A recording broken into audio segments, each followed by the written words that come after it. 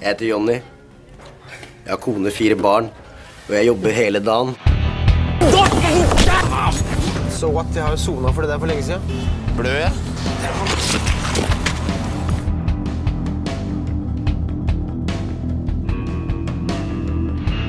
Hva du driver med nå, Jonny? Vaske vårt gulv, vaske vårt gulv,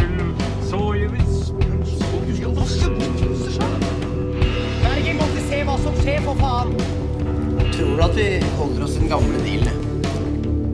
Tenker du langsiktig? Sånn, Svein han er helt ute. Altså, han er behandler oss som unger. Så jeg må gi liksom nissen en klem. Nå sitter vi ute og har det hyggelig. Hvor lenge siden har hatt det? ja? Alle sitter nå og bare lurer på hva som skjedde.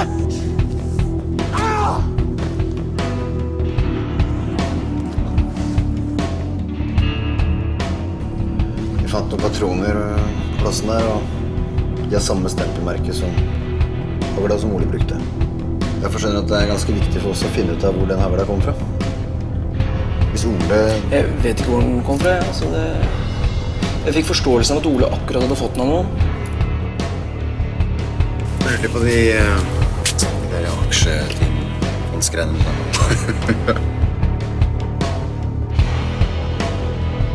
Hører du ikke hva jeg står og sier, da? Ikke hjelp! Det er en regel! Lukk igjen det lokket!